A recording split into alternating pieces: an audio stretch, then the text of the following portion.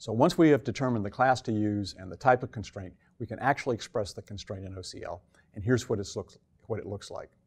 What I've put in bold are keywords that belong to the language, and the parts in plain text, not, not bolded text, uh, correspond to the particular uh, particulars of the UML diagram.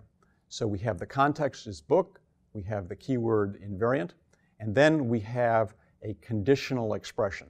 Recall from the statement of the requirement that there were two situations, one uh, for books in general and the other is for bestsellers.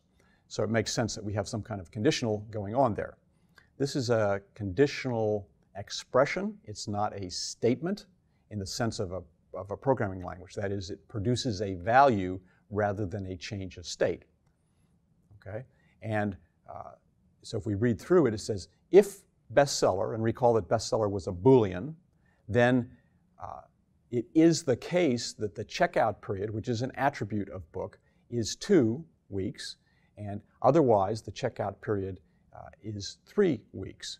So one of two um, possibilities exist, and it depends upon the value of that, that Boolean.